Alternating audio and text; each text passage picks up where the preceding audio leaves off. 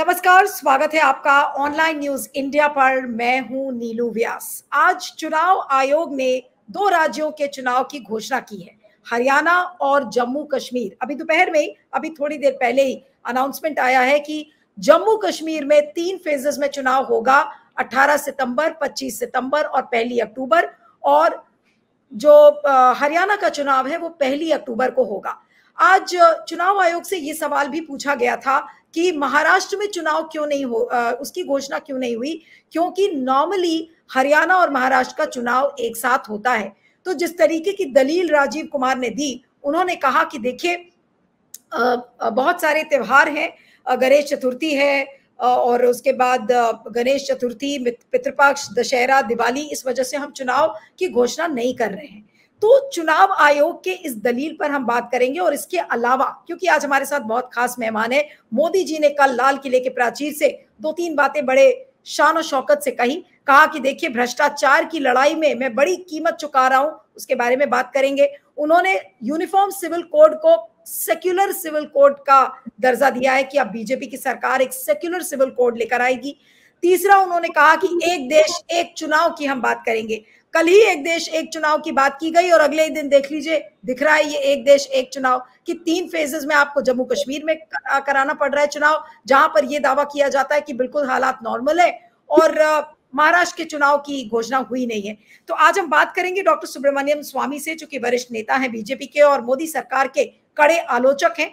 स्वामी साहब, आपका बहुत बहुत स्वागत है। Thank you so much for joining मेरा पहला सवाल सर यही है कि पूरे चुनाव के दौरान, लोकसभा चुनाव के दौरान राजीव कुमार की आलोचना इस बात को लेकर हुई कि एक लेवल प्लेइंग फ़ील्ड वो चुनाव में नहीं दे पाए और जिस तरीके की धांधलेबाजियाँ, जिस तरीके की गड़बड़ी का, की खबरें आ रही हैं, अभी मैं एक रिपोर्ट देख रही थी जिसमें बीजेपी के नेता नारायण राणे के ऊपर ये आरोप लगाया और बॉम्बे हाईकोर्ट ने उनको समन भेजा है कि उनके जो सपोर्टर्स हैं, उन्होंने जो प्रलोभन दिया वोटर्स को, उसमें वो गिफ्ट बांटते हुए नज़र आए उनके सपोर्टर्स तो इस तरीके की बातें अब सामने आ रही हैं। तो ऐसे में क्या कहेंगे कि ये चुनाव आयोग जिसने की अभी जो तारीखों की घोषणा हुई है, आपको क्या लगता है कि महाराष्ट्र का चुनाव की घोषणा आज हरियाणा के साथ क्यों नहीं हुई? जी सर। अब हाँ महाराष्ट्र की है सबसे महत्वपूर्ण चुनाव। क्योंकि बाकी जो दो जगह हैं, उनमें यानी हार जीत की का असर बहुत कम यानी इतना होता नहीं है। लेकिन महाराष्ट्र में बॉम्बे भी है और महाराष्ट्र में सारे बिज़नेस की इंडस्ट्री की सारी चीज़ें हैं। तो एक महत्वपूर्ण है। और इसमें अब अब तो महाराष्ट्र में सिर्फ़ महाराष्ट्र में है सिर्फ़ नहीं है उसमें सारा हिंदुस्तान के लोग वहाँ हैं। तो इसीलिए उसका बहुत महत्वपूर्ण इलेक्शन होने के बाद ये जो इन्होंने विलम्ब किया ये ठीक नहीं किया। क्योंकि जब क्योंकि जब हाउस को की जो जो जो जितनी उसकी हाउस की जो पीरियड है वो तो खत्म हो जाएगी। फिर वह क्या, वो प्रेसिडेंट रूल लगाएँगे वो। और प्रेसिडेंट रूल माने फिर सरकार सेंट्रल गवर्नमेंट चलाएगी। तो मैं समझता हूँ कि बड़ी संदेह पैदा होगी और इससे हमारी, जो प्रतिष्ठा है और हमारी पार्टी की जो एक स्टैंड है, वो उसमें हम, हमें नुकसान होने वाला है।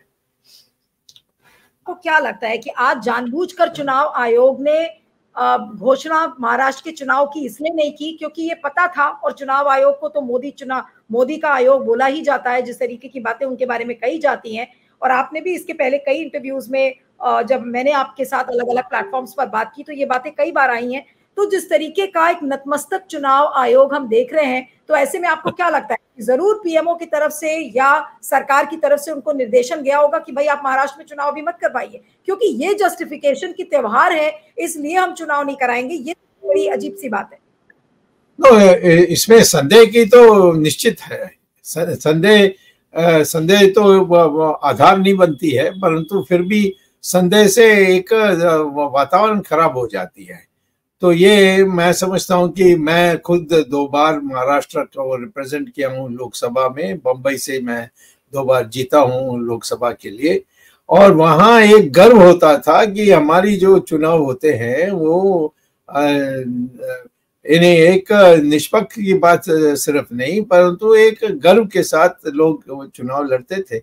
ये जो हुआ है और जो जिस तरीके से पार्टी की तोड़ फोड़ हुआ है, ये सबसे लोग बड़ी दुखी थे और मैं समझता हूँ कि ये जो संकेत देती है कि भारतीय जनता पार्टी की जो प्रमुख नेता हैं, उनमें डर डर आ गई है कि कहीं हार जाएँगे तो फिर क्या क्या होगा?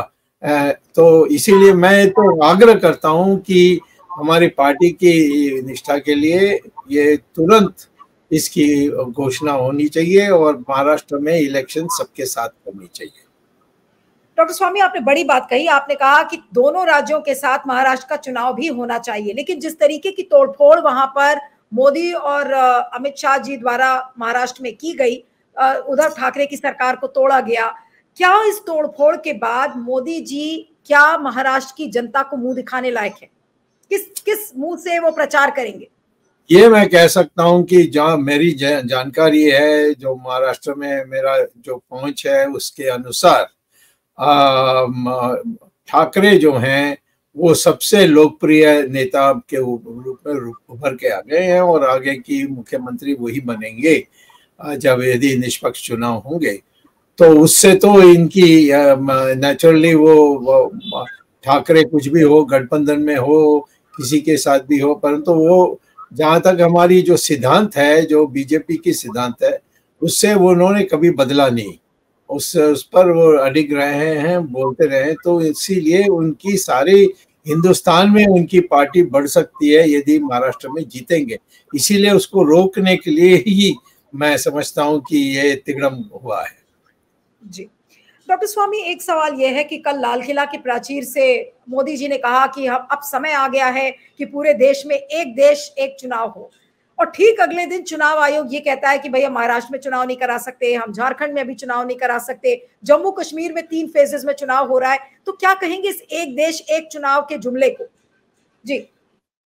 अब एक देश एक चुनाव, उसमें तो अच्छा ही होगा, परंतु तो मैं ये कहता हूँ कि जब इतने सालों के लिए हमने नहीं किया अब इसको, इसके लिए बड़ी शोध करनी पड़ेगी, अनुसंधान करनी पड़ेगी। उसके बाद इसको पेश करना होगा पार्लियामेंट में और पार्लियामेंट में बहस होने के बाद इसकी फैसला हो सकती है। प्रधानमंत्री की बयान से हम कभी ऐसी चीज़ों को जल्दबाजी में करने के लिए सोच नहीं सकते। यदि वो करते हैं, नहीं नहीं करते हैं, वो तो अलग बात है। परंतु मैं समझता हूँ जल्दबाजी कहा। बीजेपी तो ये कहेगी ना मोदी जी भी ये कहेंगे कि हमने तो पूरा टाइम दिया। रामनाथ कोविंद के अंडर में हमने कमेटी बनाई उस कमेटी ने स्टेक होल्डर से बात की और तब हम करेंगे। नहीं नहीं इसमें पार्लियामेंट में इस पर चर्चा होनी चाहिए और कमेटी में जाना चाहिए। पार्लियामेंट की कमेटी में उसमें पूरा गहराई में वो सबको लोगों को एक्सपर्ट्स को बुलानी चाहिए। उनकी पूछताछ करनी चाहिए। उसके बाद उनकी रिपोर्ट आएगी, उस पर बहस होगी पार्लियामेंट में। ये गोविंद या गोविंद जो भी थे हमारे पहले हमारे राष्ट्रपति थे, उनका बस का नहीं है ये। ये एक व्यापक मामला है, इसमें पार्लियामेंट की उपस्थिति होनी चाहिए। लेकिन आज क्या ये चीज़ साबित नहीं हो गई कि एक देश, एक चुनाव केवल और केवल एक जुमला है? जो कल मोदी जी ने लाल किले से फ्लोट कर दिया है। जी डॉक्टर स्वामी। नहीं जुमला हो ना हो परंतु इस तरीके से करना वो मैं समझता हूँ तिगड़म है। और मैं ये मैं नहीं मान सकता हूँ कि आप जल्दबाजी में ऐसे कुछ चीज़ लाए। इस पर जिस इतनी समय इतनी सालों में हमने सोचा नहीं उसको उस, उसको ध्यान में रखते हुए इस पर पूरा चर्चा होनी चाहिए। इसमें पार्लियामेंट की कमेटी पहले बहस करनी चाहिए, फिर पार्लियामेंट बहस करनी चाहिए, फिर देश में भी इस पर चर्चा होनी चाहिए और उसके बाद ही इसको करना है। डॉक्टर स्वामी, कल यूनिफॉर्म सिविल कोड की भी उन्होंने बात किया और कहा कि देखिए, देश में इतने सालों से जो यूनिफॉर्म सिविल कोड बना है, वो एक कम्युनल सिविल कोड है, यानी कि सांप्रदायिक सिविल कोड है। और अब बीजेपी लेकर आएगी एक सेक्युलर यूनिफॉर्म सिविल कोड। ये यूनिफॉर्म सिविल कोड कब से सर ये सेक्युलर और कम्युनल होने लगा? मैंने तो आज तक नहीं पढ़ा था। और क्या मोदी जी डायरेक्ट अंबेडकर साहब का और संविधान का अपमान कर रहे हैं? इस चीज़ को बोल कर। ज़रूर ज़रूर, वो ये जो बिल्कुल सोच और शोध के बाद, अनुसंधान के बाद ये तय हुआ था कि जो यूनिफॉर्म सिविल कोड है, उसको हम अनिवार्य नहीं बनाएँगे, परंतु एक दिशा के रूप में उसको डायरेक्टिव प्रिंसिपल्स में जोड़ देंगे। तो उसका उसमें आज हमें करना था तो इसमें बहस शुरू होनी चाहिए थी। ये प्रधानमंत्री के बयान से नहीं हो सकता है। प्रधानमंत्री का कोई ऐसा कोई ज्ञान भी नहीं है, क्या उसके उनकी अनुसंधान भी नहीं है तो मैं ये क्यों आ, उनकी बातों को मानना चाहिए? मैं तो कहूँगा कि यूनिफॉर्म सिविल कोड को इसको अब दोबारा देश भर में इसकी चर्चा होनी चाहिए और ठीक है नहीं है किस तरीके से करना चाहिए उसके उस उसके बाद ही करना है। इस प्रकार से करना मैं समझता हूँ जैसे सोवियत यूनियन में होती थी अब रशिया में होती है और चाइना में होती है वैसे हो रही है। लेकिन डॉक्टर स्वामी, आपने कहा कि मोदी जी को ज्ञान नहीं है संविधान का, उनको आइडियाज़ नहीं है कि कैसे यूनिफॉर्म सिविल कोड लाया जाए। तो फिर इतनी बड़ी बात उन्होंने लाल किले से क्यों कह दी? वो कौन रोक सकता है उनको? लाल किला में एक बार पहुँच जाएँगे तो उनको कोई रोक तो नहीं सकता। वो जो बोलते हैं, बोलते रहते हैं, उनके पिछले सालों के जो दस साल में या चौदह साल चौदह बार उन्होंने जो ला, लाल किला से बोली है उसको देख के कितने चीज़ों को पूरा किया उन्होंने। उन्होंने कहा कि मैं आ, आ, हमारी इकोनॉमी के को डबल कर दूँगा पाँच साल में हुआ नहीं। आ, इस प्रकार से उन्होंने मैं आ, आ, ये करूँगा वो करूँगा कितने चीज़ों उन्होंने कहा है। तो ये भी एक जुमला जैसा ही हो गया है इससे ज़्यादा नहीं है। इतनी जुमलेबाजी मोदी जी कल ये भी कह रहे थे कि देखिए भ्रष्टाचार को मैं हटा दूँगा। भ्रष्टाचार को हटाने की मैं बहुत बड़ी कीमत चुका रहा हूँ, ये बोला नरेंद्र मोदी ने। मैं आपसे जानना चाह रही हूँ, आप तो खुद बीजेपी के अंदर बैठे हैं, आखिर मोदी जी कौन सी कीमत चुका रहे हैं? भ्रष्टाचार को हटाने की कौन सी कीमत वो चुका रहे हैं? मेरी नेशनल नेशनल इसमें जो मैंने सोनिया गांधी और राहुल गांधी को बेल में रखा है उसमें जो मैंने दस्तावेज़ मांगे, अभी तक दिया नहीं। कोई अड़ंगा कोई किसी तरीके से लगाते रहते हैं। और मैं मैंने तो प्रूव कर दिया। एक प्राइमा फेसी केस मैंने एक संदेह जो है, वो सही है, ये कानून के अनुसार मैंने सिद्ध कर दिया। और अब जो जब ट्रायल शुरू होने वाली थी, जो अंतिम कदम है, उसमें इन्होंने जो हमें अनिवार्य जो भी मैं माँगता हूँ जो दस्तावेज़ सरकार के पास है वो देना चाहिए देते नहीं है। तो ये कौन सी बात कर रहे हैं? किस बात पर? चिदम्बरम का भी यही है एयरसेल मैक्सिस में। तो मैं कहने में एक बात होती है करने में दूसरी बात होती है। नहीं लेकिन आपने जो कहा कि राहुल गांधी की जो सिटीजनशिप का मामला है आपने सारे दस्तावेज़ दिए लेकिन ना अमित शाह ने सुध ली ना मोदी जी ने सुध ली ना राजनाथ सिंह जी ने सुध ली। लेकिन सवाल ये उठता है कि राहुल को फिर बचाने का काम मोदी जी क्यों कर रहे हैं? अब पहले ही मैं ये करेक्शन कर दूँगा कि राजनाथ ने उनको नोटिस भेजा था। हम्म। आ, मेरे कंप्लेंट के आधार पर। और उस नोटिस जाने के बाद इनको बदल दिया। और अमित शाह को लाए। तो राजनाथ का कोई दोष नहीं है इसमें। लेकिन इन दोनों का निश्चित तौर पर ये कैसी बात है कि जो हमारे होम मिनिस्टर थे उस समय राजनाथ, उन्होंने कारण बताओ नोटिस भेजा। उसका जवाब अभी तक नहीं आया। तो 2019 में भेजा। आज 2024 हो गई। पाँच साल एक भी जवाब नहीं दिया उन्होंने। और ना इन्होंने कोई एक दोबारा उनको चिट्ठी लिखी और कहा कि आखिरी मौका दे रहे हैं आपको। और इसीलिए आप नहीं देंगे तो हम अपनी कार्रवाई शुरू कर देंगे। ये भी नहीं किया इन्होंने। क्यों? तो इसीलिए मैं कोर्ट में जा रहा हूँ, नहीं तो मुझे कोर्ट में जाने की ज़रूरत ही नहीं है। नहीं, लेकिन अब मुझे ये नहीं समझ में आ रहा है कि राहुल की सिटीजनशिप का मामला अगर इतना संगीन है, जिसको लेकर आपने डॉक्यूमेंट्स दिए हैं तो हिचकिचाहट क्या है मोदी जी के मन में? क्या राहुल का, राहुल को जब तक ये ज़िंदा नहीं रखेंगे राजनीति में तो क्या मोदी जी पॉलिटिकली सर्वाइव नहीं कर सकते? क्यों राहुल को बचाने में लगे हैं मोदी जी? अगर आप ये कह रहे हैं कि राहुल के दस्तावेज़ आपके पूरे पुख्ता हैं आपने पिटिशन भी फ़ाइल कर दी है जिसको लेकर सुनवाई होगी तो फिर मोदी जी के ऊपर सवाल खड़े होते हैं कि वो राहुल को क्यों बचा रहे अब कई लोग कहते हैं कि वो तुम्हें श्रेय नहीं मिलना चाहिए इसीलिए कर रहे हैं। ये तो बड़ा घटिया बात होगी।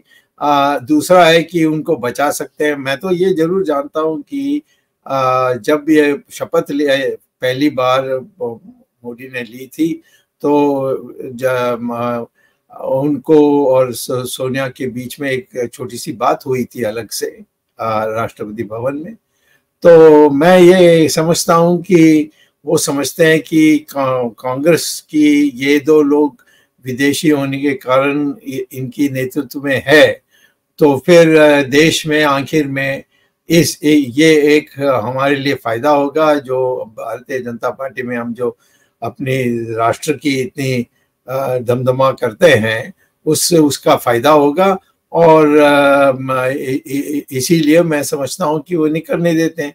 और ये भी है मैं तो, कई लोग कहते हैं मुझे मैं नहीं जानता कि ये तुम्हें श्रेय नहीं जाना चाहिए और इसीलिए वो इसको होने होने दे रहे हैं। ऐसे वो ऐसे भी लोग हैं जो कहते हैं वो, मैं उसको सीरियसली नहीं मानता हूँ क्योंकि मैं कभी भी कोर्ट में जाकर इसको तेज़ी से कर सकता हूँ और अब मैंने कोर्ट में फ़ाइल भी कर दिया है और इसको मैं छोड़ने वाला नहीं हूँ। अब नेशनल हेरल्ड केस भी और ये जो राहुल गांधी की जो जो मैंने अभी केस फ़ाइल की है कि उनकी सिटीजनशिप के बारे, ये दोनों मैं कोर्ट पे जा रहा हूँ। इसमें इसीलिए वो फाइनल होगा बट मोदी के तो कई चीज़ें हैं। आप मैं कई बार आपके इसमें कहा हूँ कि चाइना ने हमारी ज़मीन हड़प कर ली उसको एक दिन भी कहीं भी पार्लियामेंट में भी नहीं बोला।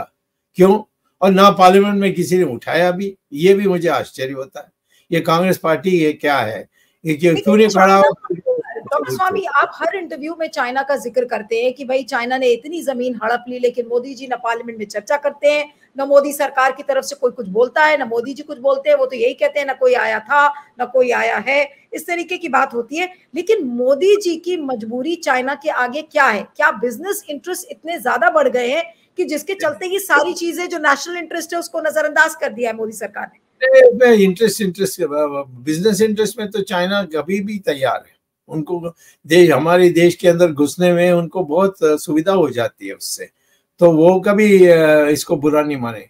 और कुछ बात है कि ये ज़मीन को एक विवाद नहीं बनाए, ये चाइना चाहती है। और वो इनको, इनके ऊपर कुछ ना कुछ इनके ऊपर दबाव लगा सक रही है। और इसीलिए वो चाइना, आज चाइना को दोषी नहीं ठहरा रहे। चाइना का नाम ही नहीं ले रहे हैं। और चाइना को कहना चाहिए कि भाई तो और मैं ये जो जवाहरलाल नेहरू के टाइम से हुई है, उसकी बात नहीं कर रहा हूँ। ये ये या चार साल, पाँच साल चार चार साल के पहले जो शुरुआत हुई थी कि जो हमारे विवाद नहीं है, जिसमें कोई विवाद नहीं है, इसमें कोई सवाल ही नहीं है, उसमें जो हमारी ज़मीन है, उसको आकर उन्होंने हड़प लिया है और चार हज़ार साठ स्क्वायर किलोमीटर उन्होंने हड़प लिया है और वो कुछ बोलते नहीं है कहते कोई आया नहीं कोई गया नहीं। अब बात करते हैं हिंडनबर्ग रिपोर्ट की जो हिंडनबर्ग की दूसरी रिपोर्ट आई है जिसमें कि मोदी अदानी और जो securities and exchange board of India की चीफ है माधवी पुरी बुच उनका एक घालमेल नज़र आता है जिसमें कॉन्फ्लिक्ट ऑफ़ इंटरेस्ट है और उनके हस्बैंड के ऑफशोर एंटिटीज uh, में स्टेक्स हैं। ऐसे में कोई भी सरकार होती तो आज सेबी की चीफ को कहती कि आप इस्तीफा दे दो लेकिन मोदी जी और निर्मला सीतारमन दोनों कोई इस्तीफे की बात ही नहीं कर रहे माधवीपुरी बुच्च आराम से बैठी है, वो सेबी में कंटिन्यू कर रही है। उसका कारण क्या है सर नहीं, मैं समझता हूँ, कोई भी सरकार होती तो तुरंत इंक्वायरी ऑर्डर कर देती कि ये जो रिपोर्ट आया, इसमें कुछ तथ्य है कि नहीं। आप निकाले किसी को, वो तो बाद में हो सकती है। मैं नहीं समझता हूँ कि कोई विदेश से कोई दस्तावेज़ आए तो हम उसको तुरंत मान ले। ये सत्य यानी एक सत्य बात है और इसमें सारी सी जो है, जो सही है, हम तो उसको कहेंगे, ठीक है इसको हम जाँच करेंगे। और और सवाल भी पूछ लेंगे लोगों से कि, भाई, तुम्हारे बारे ऐसा कहा है कि तुम्हें कुछ कहना है इसमें? क्योंकि हम एक नया रिपोर्ट बना रहे हैं इसके आधार पर। ऐसे कोई कार्रवाई करनी चाहिए, ये तो कार्रवाई, कहना कि वो विदेशी है, हम कुछ नहीं करेंगे, ये भी ठीक नहीं है।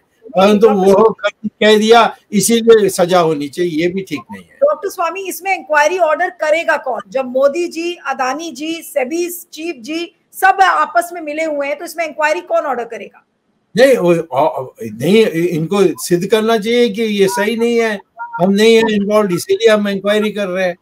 तो आज ना इंक्वायरी नहीं कर आप तो सिद्ध करने की बात कर रहे हैं डॉक्टर स्वामी आप कह रहे हैं कि इनको सिद्ध करना चाहिए। सिद्ध करेंगे हाँ, तब तो ये और फंस जाएँगे। तो ये तो आपका अनुमान है। हम तो देखने चाहते हैं कि आ, ये करते हैं कि नहीं। नहीं अब ये नहीं करें तो यही मानेंगे जो आपने अभी कहा है। क्यों इतना डर है इनको?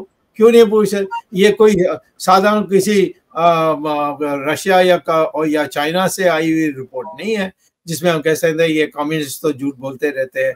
ये तो एक जो लोकतंत्री देश हैं उसने इसको तैयार की है इस पर वो बहस करने के लिए तैयार भी है। और कहते हैं कि भाई आप कुछ हमारी त्रुटि निकालोगे तो बता दो हम हम उसका कुछ सही करेंगे। तो इसीलिए इस पर चुप क्यों है?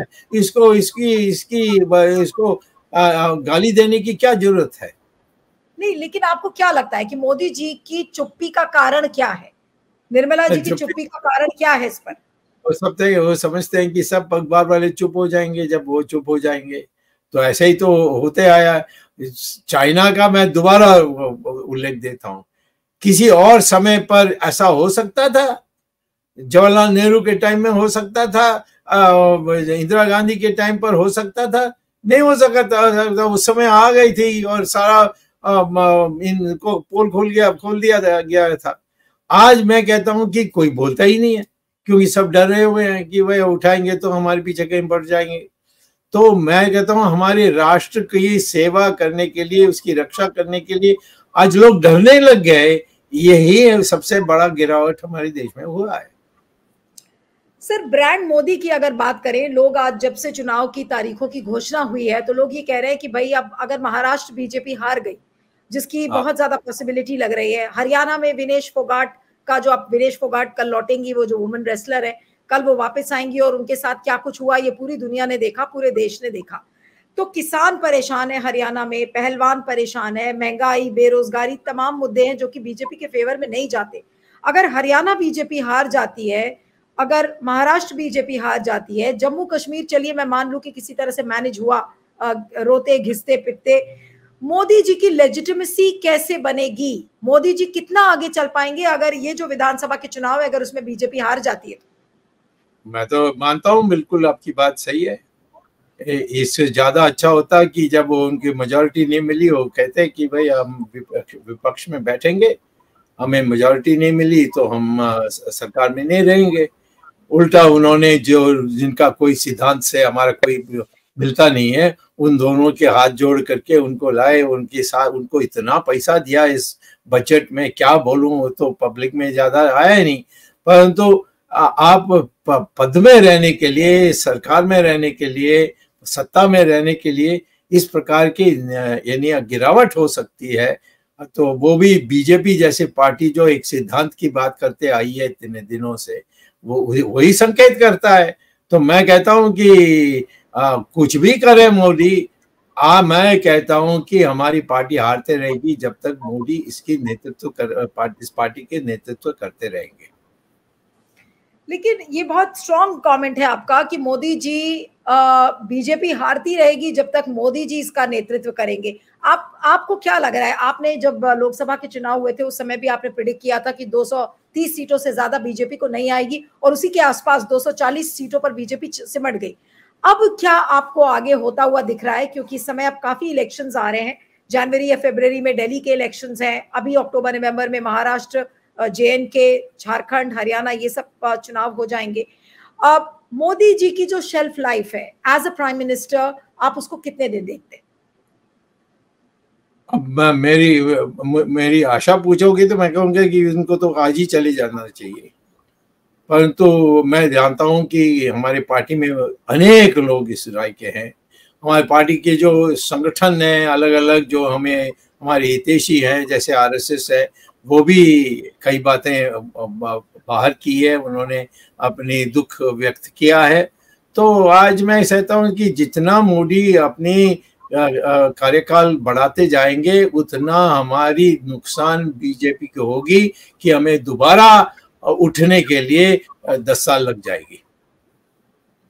लेकिन कई बार आप कई प्लेटफॉर्म्स पे इस बात को कह चुके हैं कि बीजेपी कभी भी राइज नहीं करेगी जब तक मोदी जी इसका नेतृत्व करेंगे। कई लोग ये सवाल करते हैं कि आप मोदी जी को इतना डिसलाइक मोदी जी से इतनी नफरत क्यों है आपके मन में? मैं मोदी से नफरत नहीं है। मैं उनको बहुत सालों से जानता हूँ। मैं ये कहता हूँ कि हमारी पार्टी एक सिद्धांत के लिए आई है। सिर्फ़ पार्टी पावर में आने के लिए हम नहीं आए। और सिद्धांत यही है, हिंदुत्व। मैं जनता पार्टी में अलग था थोड़े दिन के लिए जब ये अटल बिहारी वाजपेयी ने कहा कि मुझे बीजेपी में आने नहीं देंगे। तो फिर मैं बीजे जनता पार्टी चलाते रहा अध्यक्ष के नाते। और मैं यही बात कहता था, जो आज मैं कह रहा हूँ, जो सिद्धांत है जनसंघ का। तो मैं इस इस सिद्धांत का अब ऐसी धज्जी उड़ रही है तो मैं समझता हूँ कि हमारे देश के लिए, भविष्य के लिए बहुत यानी एक दुखद बात है। लेकिन आपके हिसाब से मोदी जी और शाह साहब के लिए सिद्धांतों का मतलब क्या है? आप सिद्धांतों को बहुत ज़्यादा तवज्जो देते हैं, उसको वैल्यू देते हैं, लेकिन आपकी बातों से ये साफ़ है कि मोदी जी और शाह साहब के लिए सिद्धांतों का कोई मतलब नहीं है। तो आपको क्या लगता है कि मोदी जी के लिए सिद्धांत का मतलब क्या है? मैं क्या जानू? परंतु मैं ये ज़रूर कहूँगा कि गुजरात की घटनाएँ को आज जो बाहर निकल रहे हैं और ये सारी चीज़ों को तो मैं अभी बोलने की स्थिति में नहीं हूँ क्योंकि मेरे पास आधार नहीं है, आंकड़े नहीं है। लेकिन मैं ज़रूर कहूँगा कि एक से हमारी जो कानून व्यवस्था है, उसका एक उल्लंघन के जो जो हो रही है सब जगह में उसको उसको देखते हुए हम सब दुखी हैं। आखिर में अडानी हो। अडानी ने सारे कानून तोड़ी है। कितने कानून को उन्होंने तोड़ी है और कितने, किस तरीके से उन्होंने कई चीज़ों को हड़प किया है, जैसे बम्बई के एयरपोर्ट को हड़प किया। तो ये सारे होते हुए हम हम लोगों को दुख होता है। ये लोकतंत्र में नहीं होना चाहिए। ये तो हाँ हो सकता है रशिया में हो सकता है, हो सकता है चाइना में हो सकता है। हो सकता है कि मिडल ईस्ट में हो सकता है परंतु तो हमारे देश में एक जो नियम के अनुसार जो हम काम करने के लिए हमने शपथ ली है वो उसका हमने बेड़ागर कर दिया है। लेकिन अंत में आखिरी सवाल आपसे करेंगे कि मोदी जी ने देश को और बीजेपी को किस हश्र पर लाकर खड़ा कर दिया है आपके हिसाब से? नहीं देखिए बीजेपी का जो बल है वो है कार्यकर्ता। और उस कार्यकर्ता को देने वाले में आरएसएस का बहुत बड़ा योगदान है। तो इसको इतनी जल्दी मिटा मिटा नहीं सकते। एक बार हुआ था जब अटल बिहारी वाजपेयी थे फिर हम हार गए थे फिर दस साल के अंदर हम वापस आ गए। और जब हमने शुरू की थी लोग हमारी हँसी मज़ाक उड़ाते थे और लेकिन इमरजेंसी आई तो हम आ, हम रूलिंग पार्टी के हिस्सा बन गए। तो ये ये जो कार्यकर्ता हमारे हैं उनको हम निराश बहुत नहीं करेंगे। और उनको ये एक एक विश्वास दिलाएँगे कि हाँ इसको दोबारा वही जो पुराना हमारी जो आ, हमारी निर्णय थी उसके अनुसार हम काम करेंगे। तो मैं समझता हूँ बीजेपी वापस आ जाएगी। इसमें कोई क्योंकि सब जगह में हमारे लोग हैं सारा देश में एक ही ऑल इंडिया पार्टी आज देश में है वो है बीजेपी। और उसका कमज़ोरी करना मैं समझता हूँ देश के साथ गद्दारी करना। लेकिन आपका मतलब क्या है कि जो बीजेपी का कार्यकर्ता है, अब वो मोदी जी को छप्पन इंच वाला प्रधानमंत्री नहीं समझता? वो पहले भी नहीं समझता था। ये तो तुम्हारे अखबार वालों की ज़्यादा योगदान थी। हमारे लोग ज़रूर पावर में आने चाहते थे और एक शक्तिशाली नेतृत्व के लिए वो आशा करते थे और उस समय जो मोदी का प्रोपेगेंडा गुजरात में था, उसके असर ज़रूर पड़ी। अब धीरे धीरे पता लग रहा है कि चाइना के सामने खड़े नहीं हो सकते। अब बांग्लादेश में भी क्या कर रहे हैं? यानी बांग्लादेश को हमने मिलिट्री भेज करके उत्पन्न किया। तो दोबारा नहीं भेज सकते हम। कोई इसका विरोध भी नहीं कर सकता। जब हम हमारी कारण बांग्लादेश बनी नहीं तो बांग्लादेश कभी नहीं बनती। बिल्कुल। और आप आपको जब बैठे हैं ये बेचारी वो आई यहाँ बैठी हुई है उसको पता भी नहीं है क्या करना है। और वहाँ कौन आ रहा है, कौन आएगा? हमारे हिंदुओं की ऐसे दुर्भाग्य क्या नहीं हमारे हिंदुओं के साथ गुंडे बदमाशों ने किया, उसका हम सहन करते रहे। उसी समय चले जाना चाहिए था हमारे फौज लेकर के, हिंदुओं को बचाने के लिए। हमारी अधिकार है। देखो इसराइल ने कैसा किया। मजबूर, मोदी जी क्या इतने मजबूर हो गए हैं कि अब वो अपनी सेना भी नहीं भेज सकते? इतने कमज़ोर हो गए मोदी। सही लगता है चाइना के सामने खड़े नहीं हो सकते हैं कहते हैं कोई आया नहीं कोई गया नहीं। कि किस बात पर उन्होंने कश्मीर में कुछ किया है इन्होंने? ये पाकिस्तान ने जो जो किया है, है कि जो जिस तेज़ी से उन्होंने सर्जिकल स्ट्राइक की थी चाइना में वो कोई आ, सेना की तरफ़ से कोई अटैक या कुछ की कोई बात ही नहीं हो सकती? और अब बांग्लादेश में अगर सेना नहीं भेजा है मोदी जी ने तो क्या मोदी जी की बातें अब क्या सेना मान ही नहीं रही है? क्या एक ऐसी सिचुएशन आ रही है नहीं है। सेना के लोग जो मुझसे बात करते हैं वो सब दुखी हैं। वो तो चाइना को उड़ा के भेज भेजने की स्थिति में है। हमारी स्ट्रेंथ इतनी है। वो कहते हैं कि हमें दे दो। वो हमने गलवान में तो दिखा दिया। चाइनीज़ को उस समय बंदूक का उपयोग नहीं कर सकते थे शस्त्र का उपयोग नहीं कर सकते। थप्पड़ मार करके पत्थर से लाठी से उन्होंने कितने मुसलमान यानी कितने चाइनीज़ की जो सोल्जर्स है उनकी उनकी हद वद की ये ये सारा दुनिया जानती है। तो हमारे लोग को वो तो चाहते हैं वो वो मिलिट्री में इसीलिए कि, कि वो अपनी जो क्षमता है वो दिखानी चाहते हैं। और हम उनको बिठा के कहते हैं नहीं नहीं कुछ नहीं। अब चाइना आते रहे जा रही है अभी भी आ रही है अभी वो जो आ, जो आपने हम्म? कभी मोदी जी को इतना बेबस इतना निरीह इतना लाचार कभी देखा है? जितना आप देख रहे हैं। नहीं मैं अब जब मैं पीछे देखने लगता हूँ कि पहले क्या था उसमें मुझे लगता है उसी समय मुझे संकेत मिल रही थी मैंने आँख बंद लिए बंद किया था। अब तो ये सब स्पष्ट हो गया बस। ये ऐसा नहीं है कि ये सब आस्ते आस्ते बनते गई। इन्होंने जो गुजरात में भी किया, कई चीज़ें मैंने अभी देखा और उसको पढ़ा उसका, उसकी उसकी उसकी अनुसंधान की तो लगा कि भाई मुझे, मैं, मैंने पता नहीं क्यों मेरा अंक बंद था इसमें। मैं ऐसे नहीं समझता हूँ कि वो सडनली उनकी विकृति आ गई या वो गिर गए या वो, वो, वो खराब हो गए ऐसा नहीं समझता ये पहले से वैसे ही थे लेकिन हम उसको आ, आ, उस समय हमारी दिल में सब में कार्यकर्ता में ये कि किसी तरीके से कांग्रेस को हटाना है। और उसमें हमने कई चीज़ों को हमने माफ़ किया होगा। और इसीलिए आज क्या क्या देश की सबसे बड़ी गलती यही थी कि प्रधानमंत्री नरेंद्र मोदी प्रधानमंत्री बने? बीजेपी ने उनको प्रधानमंत्री बनाया क्या ये बीजेपी की सबसे बड़ी गलती है? अब वो गलती नहीं कह सकते, क्योंकि उस समय कौन था? आडवाणी ने कह दिया कि पाकिस्तान के फेवर में बोल दिया तो सारा देश इन्हें खड़े हो गई अब उस समय ऐसा हमें कुछ दिखा नहीं कि जिसमें हम सोचते थे कि अडवाणी से भी बुरा होगा नरेंद्र मोदी। तो हमने सब इसकी जय जयकार की।